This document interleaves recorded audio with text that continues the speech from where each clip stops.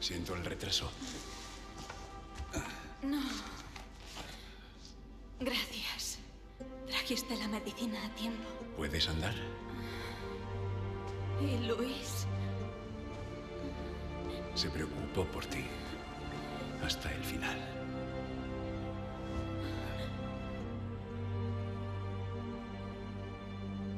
Vamos. Hay poco tiempo. Matemos a esta cosa. Por Luis.